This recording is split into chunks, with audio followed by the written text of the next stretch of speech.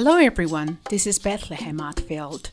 Welcome to the podcast Journey to Ethiopia with a Story. This is a special program to commemorate International Translation Day, which is celebrated on the 30th September every year. Last year, we had an interesting discussion with Roman Toldebrahan, a writer, translator, and co founder of Romanat Books and Publishing. Our guest this year is Jane Kurtz, an award winning author, an educator, and a devoted advocate for developing children's reading culture. She grew up mostly in Ethiopia, where she now does a lot of volunteer work for helping kids to get books. Jane was born in Portland, Oregon, but when she was two years old, her parents moved to Ethiopia. Jane grew up in Maji, a small town in the southwest corner of the country. She is a co founder of a non profit organization, Ethiopia Reads, that works to bring books, libraries, and literacy practices to the children in Ethiopia. After 15 years on the board of directors of Ethiopia Reads, Jane saw a crucial missing piece of the literacy work and turned her volunteer effort to heading a creative team of Ready Set Go books, a project of Open Hearts, Big Dreams. These are a series of bilingual early readers to increase literacy in indigenous Ethiopian languages. So far, they have managed to publish over 135 bilingual books in local Ethiopian languages and other regional and international languages. Hi, Jane. Welcome to this podcast program, and uh, thank you for the, making the time to talk to me. Of course. Thank you so much for having me on. You were in Malaysia about two weeks ago, receiving an IBBY award. Congratulations. Thank can, you so much. Can you tell us um, what that is and what it means to you and to your work? Of course. It turns out I didn't really know the background of IBBY myself. We just say IBBY for that organization. Oh, right. But it came out of some work that a woman did after the end of World War II, when, of course, so many cities in Europe had been bombed. There were so many children that were distressed. In some cases, they didn't even have families, they were just running around on the street trying to survive.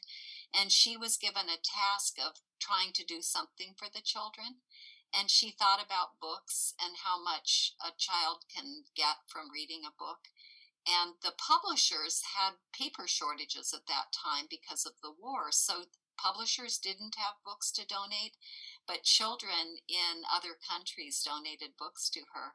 And she set up these reading centers and places for children to have their art that showed what they were going through or what they had gone through.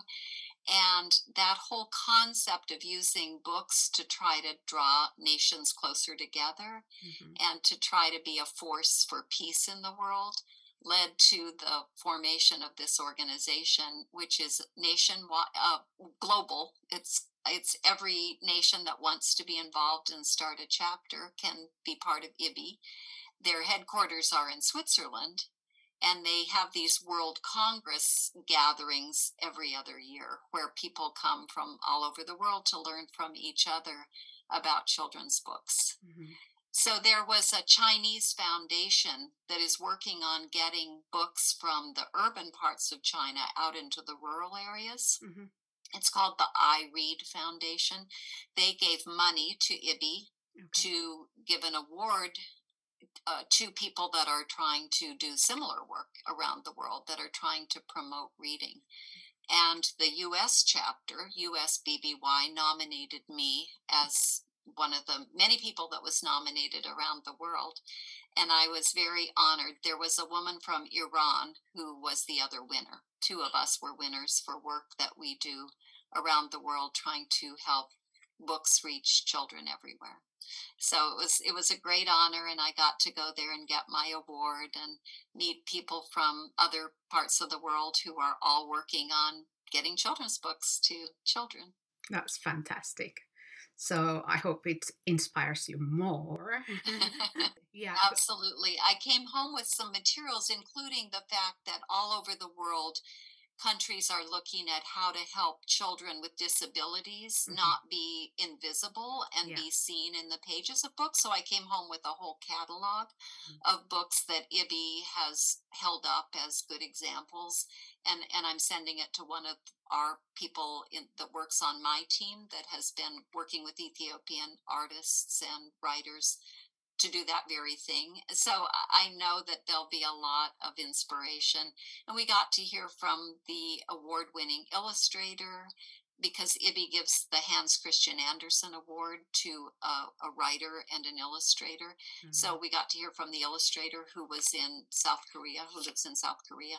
And I was saying, oh, I just, I would love to bring this knowledge of children's books and this idea of what illustrators do to more Ethiopian artists mm-hmm. because there are so many people in Ethiopia doing creative visual work and and helping them see that people around the world are putting their best art into books for children mm. that's one of the things that I came back inspired about and and thinking that I really want to do more with oh, okay um but what started it all? I mean, what inspired you to begin with um, to publish and distribute books for children in indigenous Ethiopian languages?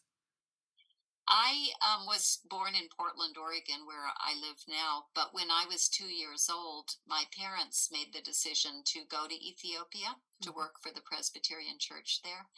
So, of course, I had no say in the matter. I mm-hmm. went off to Ethiopia as a two year old and I myself learned to read in Ethiopia in a quite a rural area in Maji down mm-hmm. in southwestern Ethiopia. Mm-hmm. The Presbyterians were running a clinic and a school, and I got to see children who had the chance to go to school for the first time. In fact, many of them were teenagers mm-hmm. because mm-hmm. they had never had a chance to learn to read and write before then. And I saw the excitement over reading and writing and even though I was being taught by my mother, because I was being taught to read in English, mm. and they at that time were being taught in Amharic, I just saw how excited, how exciting it is to get a chance to go to school, and especially learning how to read. Mm-hmm. So, fast forwarding many, many years, decades, I now have Ethiopian American grandchildren. And I was very interested in some kind of project that would help help my my granddaughter and my grandson who live in America, but I wanted them to do something with me that would help them learn more about Ethiopia. And I thought that this would be a wonderful project where I could put my author hat on, mm. um, but I could also engage them in it. So they were they were young at that point. My grandson was a third grader when I got this idea. My granddaughter was a fifth grader. Now they're teenagers, so now it's harder to mm. get them involved. Although my granddaughter just did art, um, she asked me if I had any ideas.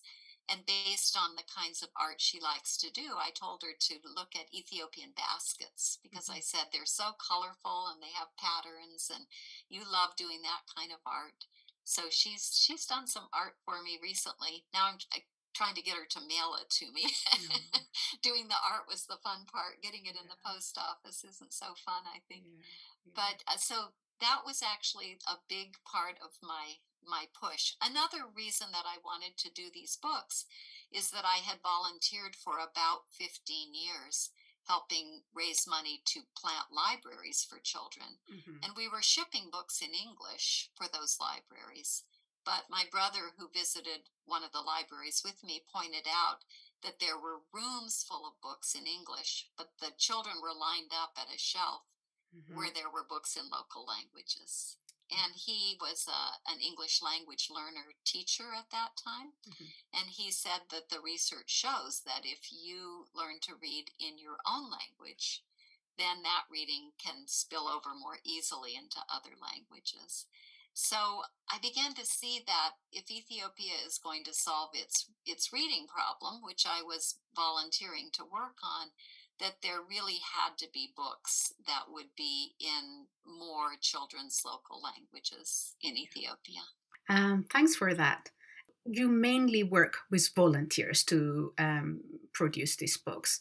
How do you mobilize volunteers? And uh, do you have um, a strong multilingual editorial team? The reason I'm asking is with the booming of self publishing, I believe the quality of material being published is suffering. So, how do you deal with that kind of problem?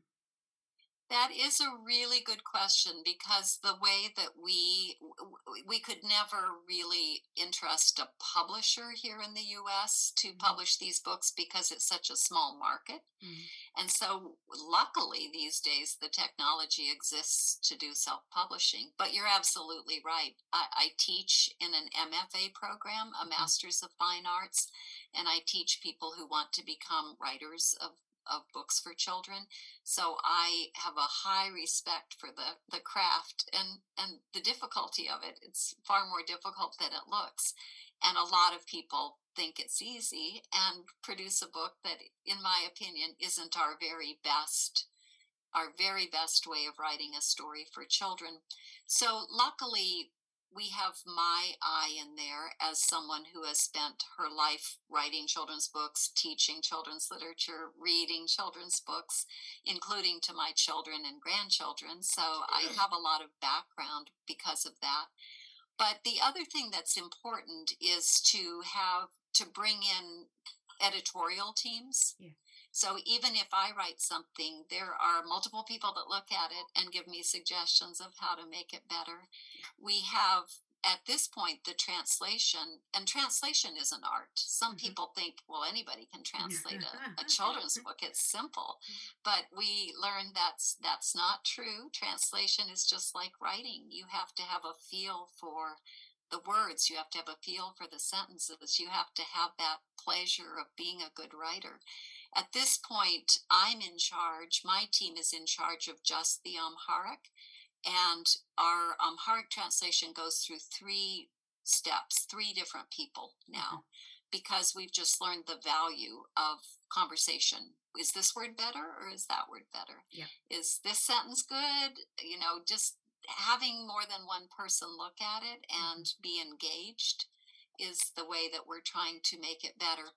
When it then goes to the the team that's in Seattle, they are doing translation into other Ethiopian languages, mm-hmm. and they always work with a translator and an editor.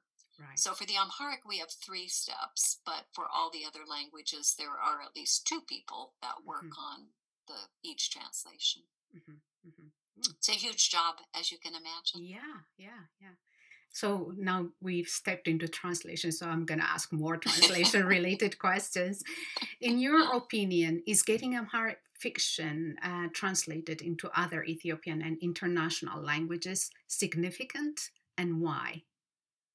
I tend to think that the whole world needs to be reading each other's books, yeah. each other's literature. Mm. There's it's so wonderful when someone is a good writer because they give us a glimpse into another world. And you tap into what that person, that writer knows, and what that writer feels, mm-hmm. and what that writer has experienced or is able to imagine. I love it that in the US there is such a push right now to make sure that many voices are represented. Okay. So that's one way to make sure that we're we're broadening our worlds with what we read.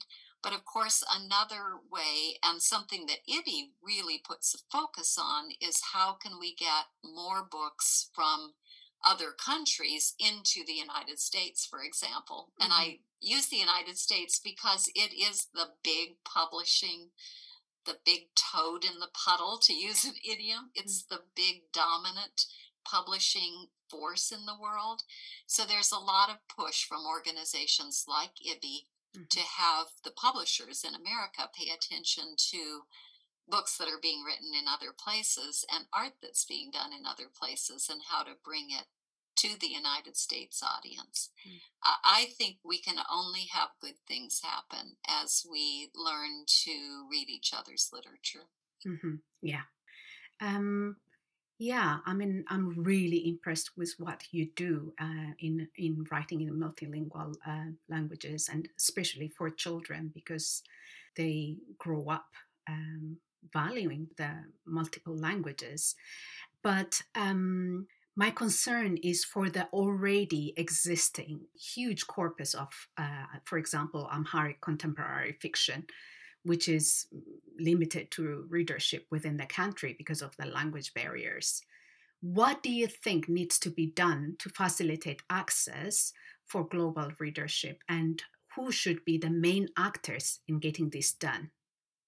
It's a tough question. Mm. I have I have bitten off a little a little tiny ear of corn yes. for myself to yeah. chew yeah. and somebody else really needs to work on the question about how to get those books that are have been written in mm. languages like Amharic translated and available I know there's no easy answer because I have just heard enough conversations over the decades to know there are people working on that um, that whole question of how to get more international books available around the world. One thing I can say is again, the technology is on our side mm-hmm. because even though it's not easy to self publish a high quality book, it's possible. And when I started out as a young woman wanting to publish books, that wasn't even a possibility. So I do know that it can be done on a small scale, which is good because mm-hmm. the bigger publishers need to sell lots of books to be able to pay their editors, pay their rent. You know, their expenses are huge and they tend to go for the books that will sell the most copies. That's right. When you have something like this, which is really called a niche market, you have to find the sometimes nonprofit publishers hmm. or the um, the smaller individual organizations that have a real a real mission for doing the work, whether or not the economics of it end up producing a lot of money for anybody in the system. Mm. I don't really know who is working on that for the adult side. I know that when I spoke at the US BBY mm-hmm. conference, there we heard from three publishers that are working on it in the children's field one nonprofit, two profit. The two that are profit making companies pointed out that it's they won't really make any money at this for yeah. probably a decade. Mm-hmm. So even if you have a publisher that is set up to be for profit, they have to have capital and they have to be able to withstand, from what I hear, a lot of years of, of not making money at it. Yeah. You know, the tough thing is that paper is expensive. Paper yeah. is expensive all around the world. And again, we have the ability now to read on many kinds of devices. Yeah. Maybe that will be the answer. I know it isn't the answer for kids in Ethiopia because the the yeah, internet and the computer services aren't there in the schools and, and even in the the private schools hardly have that capacity. But maybe for adults, that it will be the answer. Yeah, like you said, it, what you're doing is amazing, but it's a very, very small, like cheap. It's just starting, um, and I, my feeling is like it's not something you can do at individual or even commercial levels. So, from your experience with uh, IBBY and uh, um, and other countries, I'm thinking bigger institutes and even governments and states um, should be collaborating to do something uh, as significant as a national corpus to get translated. Did, you, did you get a sense of that with the Chinese, Malaysian, Hong Kong kind of settings? I was just thinking about China. So, again, yeah. my own experience is only in the children's book field. Mm. But I was interviewed by a young woman living in China for this IBBY award, and she was shocked to hear that Ethiopia doesn't have a publishing infrastructure because um, China is working hard on getting more books to the population, but they have publishers that are in there devoting money to that. And I I know Ethiopia has many, many demands on its money. Yeah. Again, I'm only looking at it from a child's point of view, and they still haven't managed to get the educational system working for most children at, mm. at these reading summits that mm. Ethiopia Reads has set up.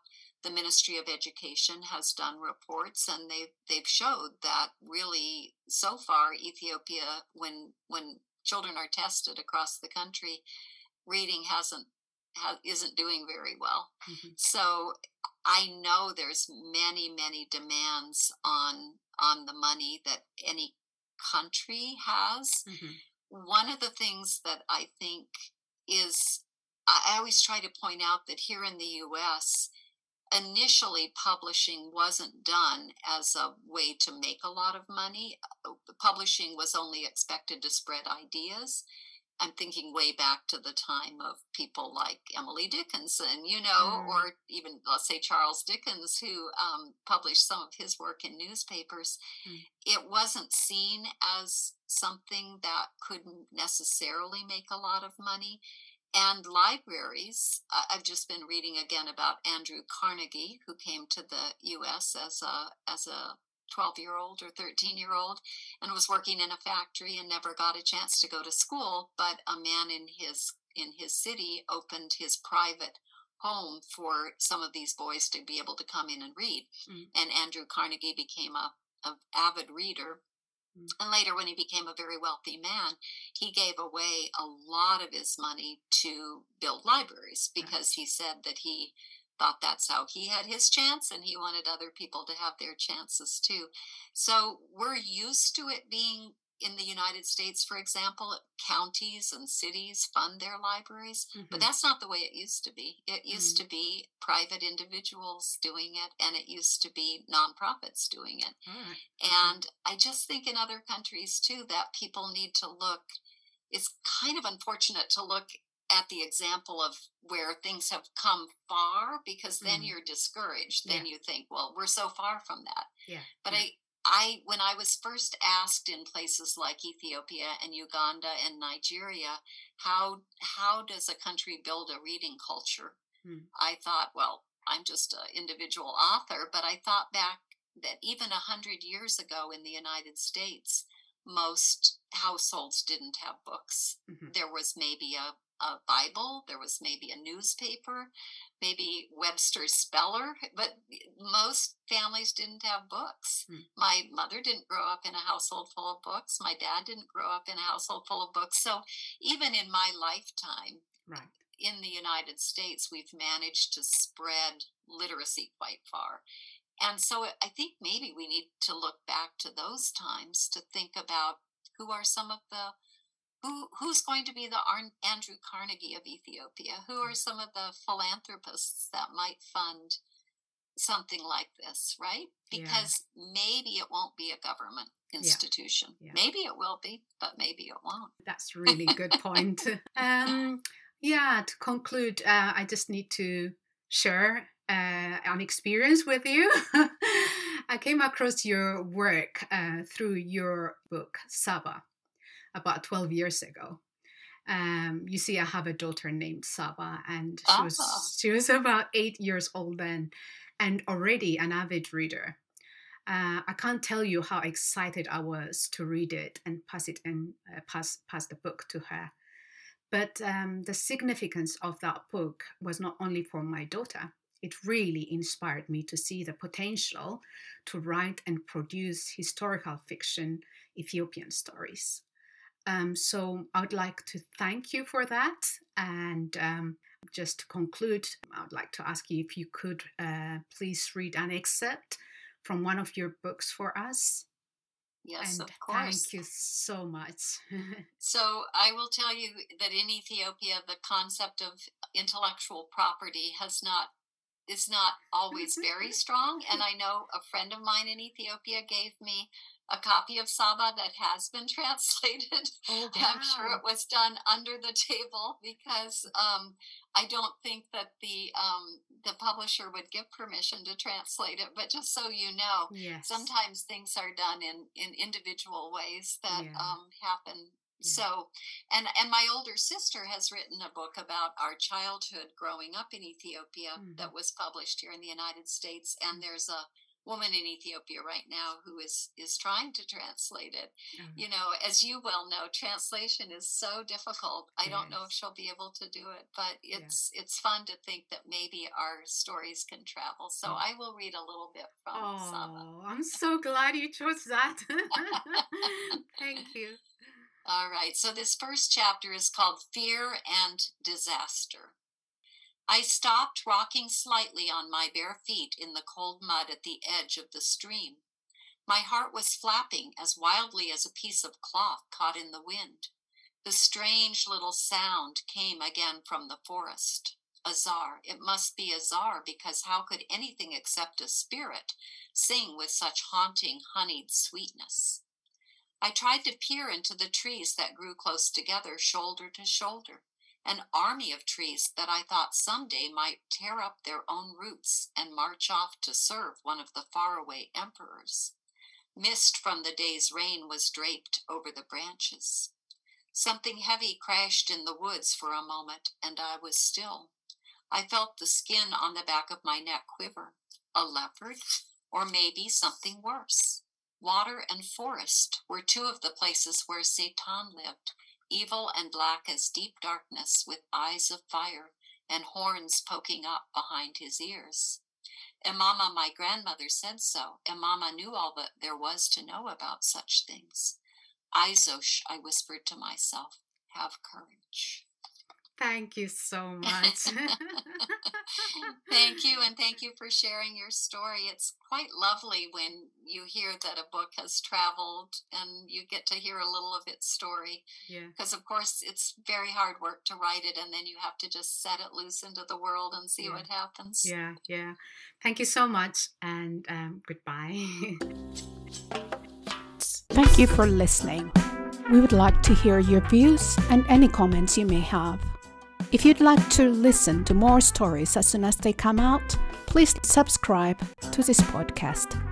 I would also appreciate it if you click on the like button and share with family and friends so we get more listeners. Until the next story, goodbye.